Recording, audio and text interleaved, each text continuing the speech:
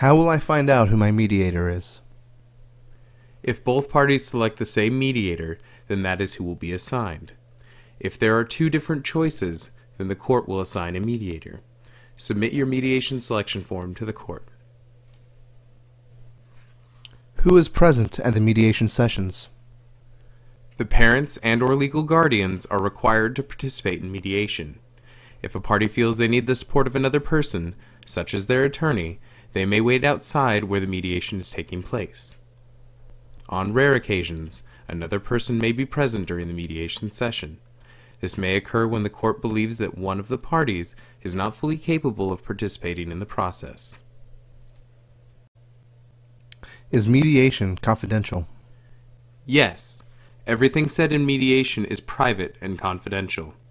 It is not shared with anyone outside the session unless the parties involved give such permission. Oregon law does not allow a mediator or any participant to testify in court about what is said during mediation.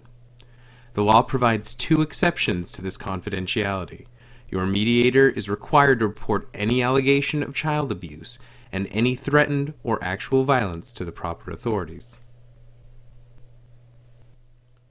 What if I don't feel safe being at mediation?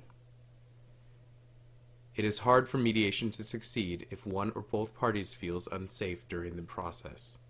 If you do not feel safe, let the mediator know as soon as possible. It is often advisable for both parties to meet with the mediator at separate times or locations.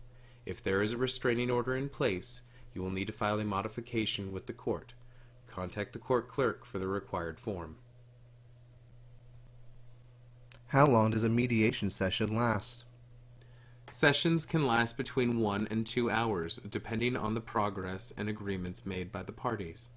The mediator may choose to end a session early if one or both parties becomes distressed or it is not possible to make progress towards an agreement. Multiple sessions might be necessary to complete the mediation. These sessions are often scheduled a few weeks apart. The court covers up to eight hours of domestic relations mediation. What happens when an agreement is reached? Once an agreement is reached, it is reviewed by both parties before the session ends. The plan is then written by the mediator to be reviewed and signed by both parties. You do not have to sign the agreement prior to asking your attorney to review it. Each party then receives a copy of the signed document, and a copy is also sent to the court as part of the court record. Are mediators allowed to give legal advice or assistance? No, mediators cannot give you legal advice or represent either party in court. Mediators encourage you to consult an attorney for legal advice before you sign a parenting agreement. This will protect your legal rights and those of your children. Can other issues be mediated? The court only covers domestic relations mediation. If you would like to mediate other aspects of your divorce, such as finances or property, consult with your mediator. Other issues can be resolved outside of court.